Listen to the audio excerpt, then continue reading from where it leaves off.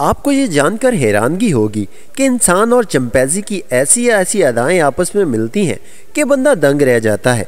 क्या आप जानते हैं कि चंपैजी हमारे करीबी रिश्तेदारों में से एक है? क्योंकि इनका डीएनए और हमारा डीएनए तकरीबन 99.9 फ़ीसद मिलता है। खड़े होने पर चंपैजी की लंबाई पाँच फुट से ज़्यादा होती है और उनका वज़न तकरीबन 70 किलोग्राम तक होता है। जो चंपैजी जंगलों में रहते हैं और आज़ाद ज़िंदगी गुजारते हैं।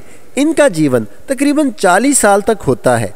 अगर आप इन चंपैजी को चिड़ियाघर में हिफाजत से रखा जाए तो इनका जीवन 50 से 60 साल तक होता है। वैसे आमतौर पर चंपैजी बंदरों की तरह एक दरख्त से दूसरे दरख्त पर कूदते रहते हैं।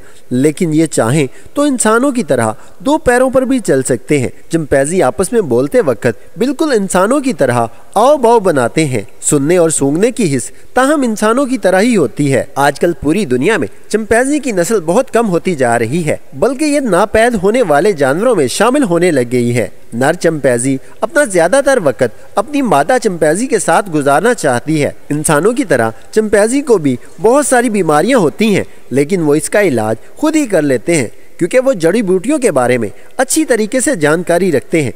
चंपैजी का दिमाग इंतहाई तेज होता है, जिसके कारण उसे कोई भी ज़ुबान सिखाई जा सकती है। वो दिन के वक्त ज़मीन पर और रात के वक्त पेड़ों पर रहना पसंद करते हैं।